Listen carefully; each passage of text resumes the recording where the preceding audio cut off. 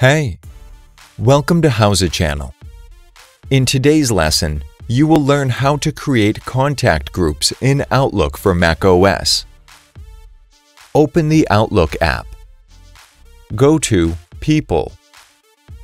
Click on New Contact List. Name the list in the new window. Click on Add. Enter the name of the contact and add the email address. If the contact exists in your address book, start typing the name and then choose it from the drop-down list. Click on Save and Close once you're done. If you click on the envelope icon next to the contact group, you can mail the whole group at once. That's it. Thanks for watching the video. Please like it and let us know if you use any of our tips and tricks. Subscribe to our channel. We upload new tutorials every day. See ya!